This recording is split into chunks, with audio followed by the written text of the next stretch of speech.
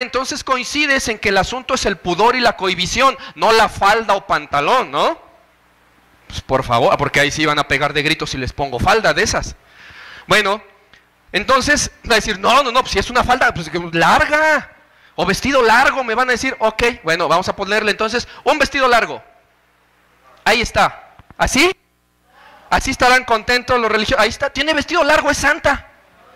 ¿No? Bueno, pues entendamos, por favor, que no es así el asunto, ¿verdad? Pero algunas cristianas, por amor a Dios, no entienden eso. Aquí dicen no, pero allá afuera se están poniendo sus vestidos entallados, ajustados. Eh, es falda, está aguada de abajo, sí, pero aquí se te marca peor que una sirena, ¿sí? Y, y como no tienen en su corazón el obedecer a Dios y el ser cohibidas y todo eso, lo que buscan son pretextos para, no, pues ya está bien, ya, pues no se puede. No se trata de si el vestido es largo o si es faldo o pantalón, se trata de pudor, modestia, cohibición. Por eso estoy poniendo estos ejemplos para que entendamos que el asunto no es la falda, el asunto no es el vestido, el asunto no es el pantalón que, que parece falda, o sea, no, el asunto es pudor y modestia. Por lo tanto, eh, vamos a ver esta, es una predicadora. Eh, esta tiene tapada aquí para que nadie sepa quién es. Está predicando. Es una hermana, hija de Dios, muy amada. Eh, yo no voy a decir quién es, pero puede ser Raquel X o Viridiana Y, no sé, X. Bueno, esta hermana es hija de Dios, ha recibido revelaciones de Dios. ¿Sí? Pero por hacer caso a veces a lo que nos dice un pastor de que la falda es la santa, nos ponemos aquí una faldita y aunque los hermanos aquí arriba estén así viendo para arriba. ¿Será entonces esta falda apropiada? ¿Ya será parte del pudor y la modestia? Pues no. Y si esa falda no es apropiada, incluso aunque pudiera parecer decente o medio decente para determinada circunstancia, todavía no afirmo ni niego si es decente o indecente, digo, pudiera parecer, pues aquí en esta circunstancia va a resultar impúdica para muchos que le están viendo los chones. ¿Sí? Pero por seguir el consejo del pastor de que la falda es la santa, no es así. Santa es ella, ella sí es santa. ¿Sí? Que, bueno, no la conozco en persona, sé su nombre y todo, y su testimonio de vida es una mujer santa. Pero la falda no. Porque si esta falda entonces aquí no, no está siendo... Eh, no está siendo motivo de pudor ni de cohibición, ¿esta será entonces esta sí apropiada? Si esta aquí ni siquiera puede ser eh, eh, una falda ejemplo de cohibición, pues esta tampoco. Esta persona que está acá tiene muy bonitas piernas, tiene unos zapatitos muy sexys, muy coquetos, muy femeninos. Cuando se siente, la falda le llega aquí 5 centímetros, 5 dedos arriba de la pierna. Cuando se siente le va a llegar a medio muslo porque se les recorre para arriba, ¿están de acuerdo? Bien, si esto no es adecuado, entonces ¿por qué yo veo cristianas y de esta iglesia las veo con faldas de este tipo a veces? Van a una fiesta y van con este tipo de faldas. Se sientan y se les levanta hasta acá arriba. ¿Saben? Esta, esta mujercita aquí, pues aquí luce sus bonitas piernas. ¿Saben que a muchos varones se les van a antojar esas piernas? Y se les van a sentar enfrente y el varón es casado y esta es cristiana. ¿Será entonces adecuado ir con este tipo de faldas? El asunto es, por eso decía hace un rato, entendamos, el asunto aquí viene diciendo, ¿qué tanto mi cuerpo va a ser deseado por los varones? Eso es lo que te va a dar la sensación y la idea de que si es adecuado esto o no es adecuado. Si tú sabes que se te ve media pierna o más, porque la media es hasta la rodilla y más arriba es más de media pierna, esto ya es minifalda. Eh, y te van a ver las piernas los varones y hay no solo ni solteros, ni hablamos de solteros, casados o hermanos o, inconversos, todos. Y cuanto más los inconversos. Y si tienen esposa, los inconversos te van a querer acercar por tus lindas piernas a ver si se puede algo ahí. Y ya estás haciendo pecar a los otros porque ya tienen en su corazón el adulterio. ¿Sale? El Señor Jesús dijo eso, ¿se acuerdan? Entonces, ¿por qué no nos ponemos eso en la mente cuando tratemos de ver qué es pudor y qué es cohibición, qué es modestia? Así de fácil y de sencillo. Usan sus pantalones. Ok, esta foto que voy a mostrar a continuación está tomada en una iglesia. ¿Sale? La mujer usa sus pantalones, ok, sale. Para que no se le vean las piernas, ¿están notando entonces que estoy poniendo muchas fotos diversas y el asunto no es qué prenda es? El asunto no es si es vestido, pantalón, falda, el asunto es qué pudor y qué modestia. Y el vestido entallado que puse hace un rato, pues no. Entonces ahorita un pantalón, va la hermana y el hermano llega y se sienta y va a orar y se encuentra con esto. ¿Estará bien? Pues eso es lo que a veces hacen las hermanitas. ¿Sale? Ese es el grande problema. Esta, conste, no estoy diciendo que así hay que hacerle. Estoy juzgando unas fotos. Esta manera es una manera decente de vestir para una mujer. Esta también. Y hay muchos tipos de, atuendos de estos similares y algunos son muy bonitos y muy modernos y, muy padres, muy bonitos. Pero el problema es que aquí las hermanas pueden decir, pero pastor, ¿qué hago? Yo no tengo dinero, mira, tú sabes que ni trabajo tengo, no tengo ni para comer, mira, mis hijos no tienen leche y la ropa que yo tengo es toda de este tipo. Eso, eso me han dicho. Toda la tengo así, todas mis blusas son escotadas y mis pantalones son así, como los puse hace un rato. Muy sencillo, o sea, no tienes ni por qué preocuparte. Tienes un pantalón de... Ese no era. ¿Tienes un pantalón de estos? ¿Ok? Así son tus pantalones normalmente. Bien. ¿Tienes blusas escotadas? Bien. Úsalos, úsalas. Pero, ¿qué tanto te cuesta a una blusa escotada ponerle una chalina o como le llaman aquí? Y aquí, y te tapa todo. Y ya le hiciste una blusa decente y hasta te tapó, todo, te tapó todo. ¿O qué te cuesta ponerle a tus pantalones un saquito, un blusón largo? ¿Qué de impúdico tiene esto? Nada. ¿Qué le ves? Nada.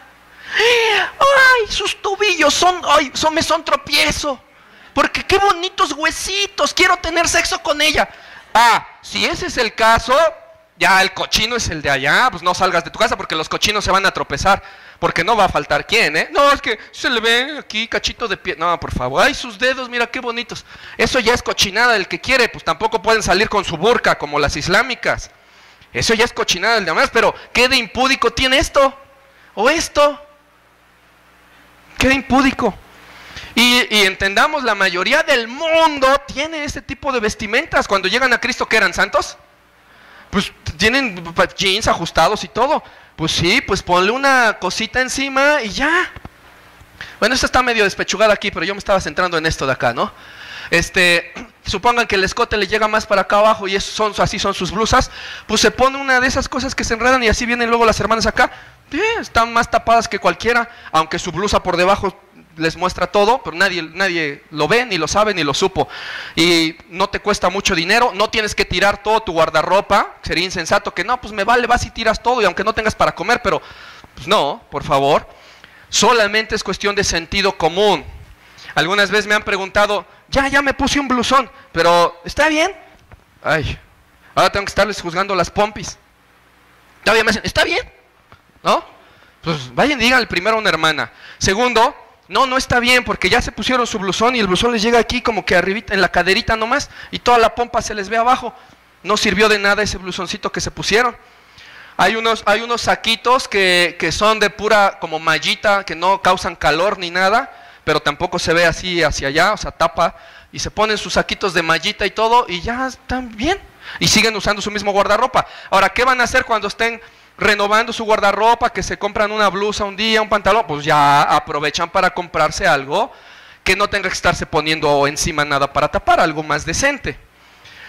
Pero ahí viene otro problema también. Hasta aquí vamos bien con el pantalón. Ahí viene otro problemita. Yo no estoy diciendo que así es, ojo, estoy dando una posible solución, bueno, quieres usar tus jeans, puedes hacerle así, no que no se te acabe el mundo. No estoy diciendo, sale, las cristianas, esta es la vestimenta oficial, chequenlo en el diario oficial de la federación, porque así va a ser. No estoy diciendo eso, estoy diciendo, tú piensa, esta es una forma, y ya no tienes impudismo aquí con esto.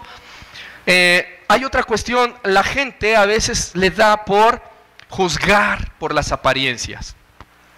Nosotros tenemos la orden de Dios de juzgar el pecado en la iglesia para edificar y no para destruir. Es una orden, debemos de hacerlo, háganlo. ¿Sí? con sensatez, con espíritu de mansedumbre, dice la escritura, para que no sea que después tú seas tentado y caigas. Eh, bueno, pero no juzguemos según las apariencias. Sí dice, sí juzgad, pero con justo juicio, no conforme a las apariencias. ¿Por qué?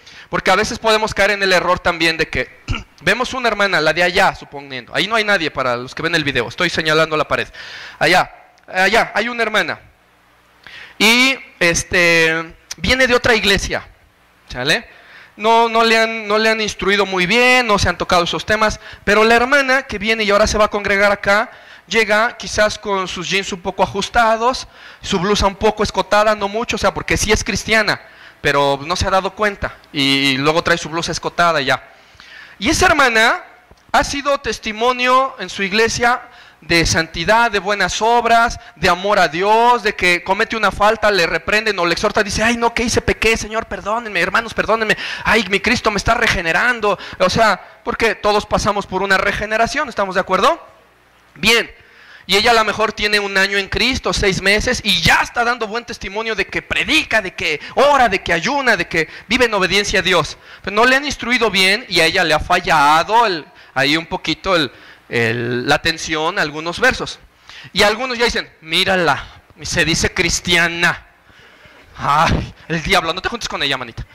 No, eso ya tampoco se puede hacer. Sí, a lo mejor sí está medio impúdica, sí, pero tú no puedes juzgar a alguien por una apariencia nada más. Ya fuiste y le dijiste, oye hermanita, creo que tu blusa está escotada. Ya fuiste a hacer eso para darte cuenta de que ella dijo, ¿tú crees? ¿Tú crees? Sí. Ay, no, ¿qué, qué? Ay, Dios mío, ayúdame, ¿qué estoy haciendo? Ay, hermana, yo no me había dado cuenta, perdónenme. No, ya, cálmate. ¿Y ahora qué hago? Y va y se tapa y nunca más la vuelves a ver así. ¿Ya fuiste a eso para ver que ella iba a reaccionar así? ¿Ya fuiste? Entonces, ¿para qué le estás diciendo, ay, ya mira, está bien impúdica, no ha de ser cristiana? Esa ni parece cristiana, no tampoco. Ah, igual y no lo sea, igual y si sea impúdica, pero no por la apariencia lo vamos a determinar. Vas, le dices y quizás entiende y ya. Y ahí en eso va a demostrar la santidad interior primero. Sabe recibir exhortación y corrige el asunto. Que en su iglesia en seis meses, en un año, no le habían hablado mucho de esto y no le cayó el 20 a ella. Ahora le cayó, sigue siendo santa, aunque tenía ese pecado o falta o distracción incluso. No debemos juzgar según las apariencias. Miren, hay una hermanita en, ahí en Facebook en un grupo y, enseña y predica cosas buenas de sana doctrina. No falta que sube algo y todos los, fariseos la acusan y a mí también este, de que nosotros somos los fariseos. Porque no juzgues, no juzgues. ¿Tú quién eres para juzgar? Le pegas 40 versículos y a ver, dime por qué este Dios, más, Dios está mal. No, pero no me importa, no juzguen. O sea, necios, ¿sale? Bien. Y la hermanita, pues, ay, defendiéndose como puede. Bueno, entonces ella sube esta publicación. Dice, ¿cuál crees de, que de estas dos es la foto de perfil de una cristiana en Facebook? Y, y le pone aquí esta despechugada y esta. Y le pone, esta con una flechita. Y acá abajo dice, ¿dijiste la de la izquierda? Yo diría lo mismo. Pero lamentablemente hay algunas inconversas que visten con más decoro que algunas cristianas. Según lo que dice este texto, dice, sí, a mí también me parece que la de la izquierda es la foto de perfil de una que puede ser cristiana, ¿ok? ¿Vamos bien? Bien. Y es verdad, puede ser el perfil de una cristiana.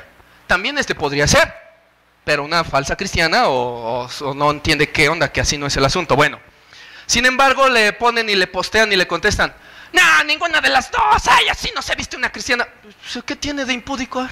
Ay, los brazos. Ay, los brazos te son tropiezo, hay que cortárnoslos todos. Ay, miren, se me ven a mí. Ay, hermano, lo estoy haciendo caer. ¿No? Me levanto aquí. ¡Ay! Por favor. No estoy diciendo que esta es la forma perfecta y adecuada. ¿Hay mejores o no? Hay mejores, ¿sí? Pero no pueden decir, ay, no, esa es del diablo también y esa peor y esta es la hija del diablo y este es el diablo. No, no pueden decir eso. No juzguen además, ¿por qué juzgan? O sea, nadie les, nadie les satisface a esos necios. Los primeros que dicen que no juzguen son los primeros que nos están atacando y juzgando y diciendo a nosotros, a la hermana y a mí y a otros que, que obedecen la palabra. Y ya se vienen a subir la hermana este tipo de cosas. A algunos les caerá el 20, a algunos no. Bueno, ya es problema de ellos. Yo quiero aclarar mi postura. Esto es bueno ponerlo para que la gente diga, no, pues sí, así no hay que vestir, ¿eh? No, no es buen ejemplo. O para que alguien diga, pues sí, esta podría ser, pero puede mejorar, está bien. Pero no juzguemos por las apariencias, ¿ok? Puede ser mejor que esto, no digo que esto es lo ideal, pero tampoco veo que sea el diablo, ni que esto, uy, cómo me excitan sus brazos, no inventes, ya, tengo fantasías con sus brazos, ¿será? Entonces, entonces que se tape todo y que hasta el cabello, porque el cabello lo tiene bonito, ¿no? No, por favor, eso ya es tontera, eso ya tampoco. Y pues, ojalá la hermana siga, siga ministrando de esta manera ahí, aunque la van a atacar y todo. Pero esos falsos cristianos que contestan babosadas ahí posteando lo que no deben. Pero pongo esto para que entendamos que nosotros también no debemos juzgar por las apariencias. ¿Sí? Podríamos decir que puede que, pero pues no, no sé, pues realmente su vida no la conozco. Mínimo, pues mínimo así, ya no así, pues mínimo así, aunque puede ser mejor. Bien, entonces, hay otros versículos que hablan al respecto de esto, por ejemplo, este de Pedro que dice, vuestro atavío no sea el externo de peinados ostentosos, de adornos de oro, vestidos lujosos, sino el interno, el del corazón, en el incorruptible ornato de un espíritu afable y apacible que es de grande estima delante de Dios. Espíritu afable y apacible. Esas que postean eh, en contra de esta publicación que sube la hermana, se podrán vestir como monjas si quieren, pero son unas necias, unas contenciosas que no tienen espíritu afable y apacible. Cuando uno dice la palabra de Dios como es, porque la palabra de Dios para aquellas personas que no conocen, dice el Señor, he aquí que yo estoy contra los pastores que endulzan sus lenguas al hablarle a la gente, y que solo dicen paz, paz, todo está bien, no juzgues. Porque eso no nos ordenó Dios. Dios nos ordenó denunciar el pecado. Para eso nos puso. No con el afán de juzgar y condenar, te condeno al infierno, tú, ya, tú me caes gordo. No, con el afán de edificar, hermano, así no, échale ganas porque eso no está bien. Eso es lo que tenemos que hacer. Pero cuando le citan la escritura y los versículos les parten, te echan la culpa a ti como si tú hubieras hecho la Biblia. Y no le dicen a Dios, no, no, tú estás loco, te lo dicen a ti. Eh, está bien, a mí que me lo digan. ¿Sí? Porque en su corazón se lo están diciendo a Dios, pero no lo quieren reconocer. Y son las primeras que están de y se burlan y jajaja, y cuando contestan jajaja, y se sienten de Dios. Se pueden poner un cuello hasta acá, pero son unos rebeldes o unas rebeldes desobedientes a la escritura. ¿Sale? Bien, entonces, eh, no juzguemos según las apariencias. Este versículo, como otros, ya no lo voy a desarrollar porque tienen las mismas palabritas y en el griego es el mismo contexto. O sea, más que con esto, más que con lo otro, pues eh, con tus buenas obras y un espíritu agradable a Dios. ¿Sí? Bien. Por último, no se anden disfrazando de cristianas para venir a la iglesia, eso sí. Porque si aquí entendieron todo eso y creen para acá y allá afuera es otra cosa. Yo acabo, yo dije hace un rato, ¿sí? Yo de repente puedo ver a cristianas que andan con faldas como esas que mostré, con esas vestimentas. En donde aquí, a veces aquí no, allá afuera. O tú ves las fotos de su perfil de Facebook y están con minifalda con short, en la calle, no digo en su casa, en, la calle, o en una fiesta, con un vestido súper pegado, súper entallado y con súper escote. No, no es así el asunto. Si la idea de vestir esto de manera ordenada y cohibida y decente es para qué? ¿Para parecer santos en la iglesia? No. La idea es no hacer caer en la tentación a los que les pueda gustar mi cuerpo allá afuera, donde sea en la calle, en la iglesia, donde sea. Esa es la idea. Si entiendes esto, entonces sabrás que cuando vayas allá afuera, tú te vas a vestir como para agradar a Dios y no para llamar la atención con tu cuerpo a los hombres. Eso debe de quedarse bien clarito, bien clarito. No se disfracen de cristianos. Me ha tocado ya ver eh, aquí en esta iglesia y en otras que la gente se disfraza de cristianos. Acá llegan los más y con túnica casi, casi hasta el cuello, pero allá afuera andan mostrando las carnes a todo mundo.